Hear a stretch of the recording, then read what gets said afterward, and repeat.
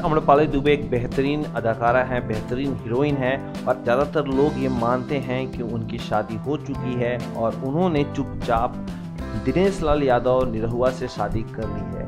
और ज़्यादातर कमेंट्स उनके गानों, उनके कहीं पे भी वो लोग साथ में दिखते हैं तो लोग कमेंट्स करते हैं लेकिन इसका खुलासा खुद अमरपाली दुबे ने एक इंटरव्यू के दौरान किया है।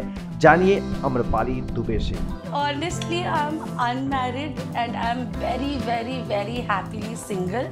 और जिस दिन मैं शादी करूँगी आप लोग को पता चल जाएगा। तो फ्रेंड्स अमरपाली दुबे ने इस इंटरव्यू में आगे चल करके ये भी कहा है कि रहुआ वो शादीशुदा हैं, उनके दो बच्चे हैं और वो एक अच्छे दोस्त हैं और एक दोस्त की तरह पूरी लाइफ में वो लोग एक रिश्ते को बना करके रहना चाहेंगे। और ये बात जो है आप लोग अपने दिलों से निकाल दीजिए कि दिनेश लाल यादव निरहुआ और अम्रपाली दुबे की शादी हो चुकी है फ्रेंड्स दूसरी बात उन्होंने ये भी कही कि आप लोग ऐसे कमेंट करके, ऐसे प्रतिक्रिया दे करके निरहुआ को टॉर्चर करना बंद कर दीजिए प्लीज़ और जब भी अम्रपाली दुबे शादी करेंगी तो दुनिया को सबको बताएँगे और बड़े धूमधाम से शानो शौकत से शादी करेंगे। तो फ्रेंड्स, ये आपके मोस्ट वांटेड जो सवाल, उसका ये जवाब है।